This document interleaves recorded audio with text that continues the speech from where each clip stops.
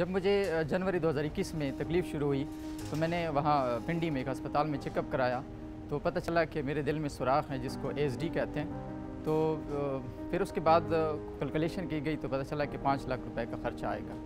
तो फिर मुझे किसी ने बताया कि पेशावर में भी एक दिल का अस्पताल है। तो मैं यहाँ आया, यहाँ मैंने चेकअप कराया और मुझे सर्जन तारिक साहब के पास रेफ़र कराया गया। और मेरे एडमिट होने के बाद सारा इलाज सेहत कार्ड पर शुरू हुआ। और मेरे कोई, मेरे, मुझ पर कोई चार्जेस नहीं आए, ना बेड के चार्जेस ना एक्सरे के चार्जेस ना कोई मेडिसन के चार्जेस और फिर डिस्चार्ज होने तक एक रुपये भी नहीं लगा। और फिर डिस्चार्ज होते वक्त हमें पाँच दिन की दवाई भी मुफ़्त दी गई। तमाम वख्तुना के शहरीों को ये पैगाम है कि आपका यही शनाती कार्ड, जो कौमी शनाती कार्ड, यही आपका सेहत कार्ड है। आपका इलाज इसी शनाती कार्ड पर ही हुआ, जिस पर मेरे पाँच लाख रुपए का इलाज ही हो चुका है ऑलरेडी